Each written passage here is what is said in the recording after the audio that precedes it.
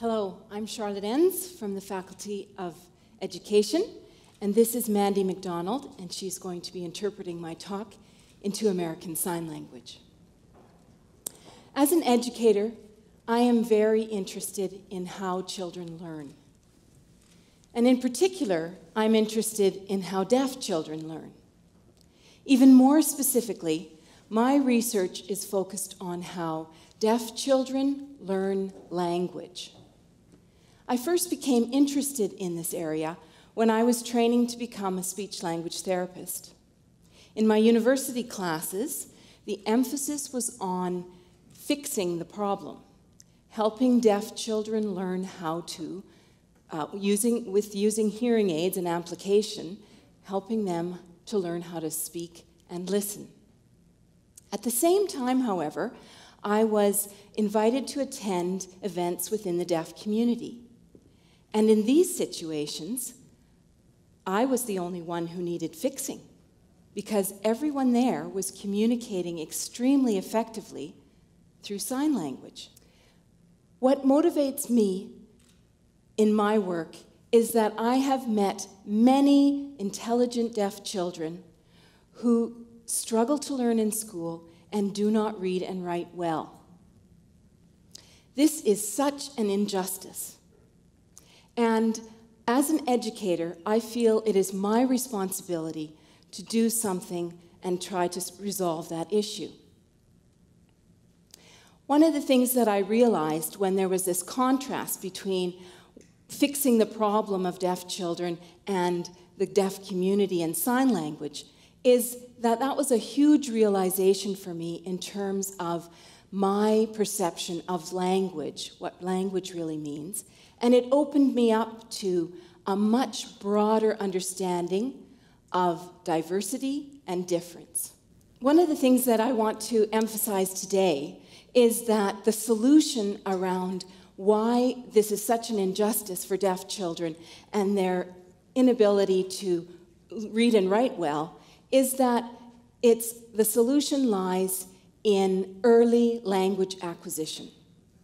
And this language does not need to be a spoken language. Sign languages are equally capable of providing the necessary foundation for later learning. Language is fundamental to what makes us human. Language connects our thoughts with the people and the world around us. And as Vygotsky claimed, language is our most important tool for mediating our learning. During the first five years of a child's life, it is the most important time for the brain to process language input patterns. This is a critical period, and if we don't acquire our first language during that time, we will have difficulties in the future. It must, it, this is, we need exposure to accessible, rich language from a variety of different communication partners. And this is not something that children can make up for later in life. If they don't get it in those first five years, they will have problems developing higher level thinking skills, and they will have difficulty learning to read and write. I want to make a distinction here between the terms speech and language, because although they are often used to mean the same thing, and they do tend to occur at the same time, they actually have very different meanings. Speech is simply the ability to uh, produce sounds through your mouth. Language, on the other hand, is all what we understand and use in terms of words, grammar, and conversational skills. Language includes all the words we know, how we put those words into sentences, and how we use those sentences to express our thoughts and feelings. Speech is one way to express language, but it is not the only way. Language can be expressed through writing and through signs. Sign languages use facial expressions and different positions and shapes and movements of the hands to express meaning and ideas. Sign languages, studies have shown that sign languages function in a very similar way to spoken languages. They can be used to request or to command, argue, persuade, and even tell jokes or express feelings or create poetry. So, in this way, it is language, not speech, that is the key to making friends, developing our thinking and learning, and doing well in school. So, although spoken languages and sign languages function in a similar way, there are differences in how they are structured because we process one of them with our ears and the other with our eyes. Spoken languages uh, organize sounds consecutively because it is difficult for a person to hear two sounds at the same time. Louder sounds will block out the other sounds. So, spoken languages are organized sequentially with one sound following another in order to accommodate this kind of processing. Speech sounds are added to words, or words are added to sentences to change or alter meaning. By contrast, visual languages use or we process visual information spatially and simultaneously. This means that when we see things, we remember where they're located and we can see two or more things at the same time. Sign languages take advantage of this visual processing and use space and movement to change, to layer grammatical structures and change meaning. So, for example, in American Sign Language, the sign for wait is like this. By adding a simple elliptical movement over the sign, like this, the meaning is changed to wait for a long time or waiting and waiting. I should uh, clarify here that just as there are many different spoken languages in the world, there are many different communities of deaf people who use a variety of different signed languages.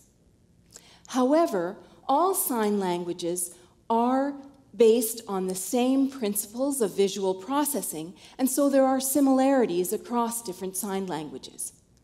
For example, many sign languages use a forward motion to indicate something that will happen in the future, and a backwards motion to indicate events that have happened in the past. So, just as spoken languages are organized to fit with the sequential processing of sounds, visual uh, sign languages are organized to fit with the way we process, we take in, and make sense of information with our eyes. Okay, so the way we process information with our eyes or our ears definitely shapes spoken and signed languages and how they're structured. But what is really important to mention is that all language learning is really about the mind. Whether we perceive language through our eyes or our ears, or we express it with our hands or our mouth, the brain processes all language input in a similar way. And we know this because children learning a signed language go through the same developmental stages that children go through when they're acquiring a spoken language. And that includes a stage of babbling, So, children learning sign language use rhythmic and repetitive movements of their hands and fingers before they use real signs. We now have evidence from neuroscience, and specifically the studies conducted by Laura Ann Petitto and her colleagues, that confirm that signed and spoken languages are processed in the exact same part of the brain. Sign languages show us that it is not sound and speaking that make human language unique, but the systematic patterns of natural languages and the fact that we are biologically programmed to decode them that make language unique. This makes up our human capacity for language. So, these two points the critical period for language acquisition and the fact that the brain processes spoken and signed language in similar ways reinforce the urgency for early dual language, both signed and spoken, exposure for deaf children. We need to make sure that their brains get enough and the right kind of input so that they, during those very few short years, so that they can acquire language. Because very often at this stage, we don't know how much speech they can actually hear, let alone understand. Dual language input is only possible when we stop seeing the deficit and shift to a different perspective.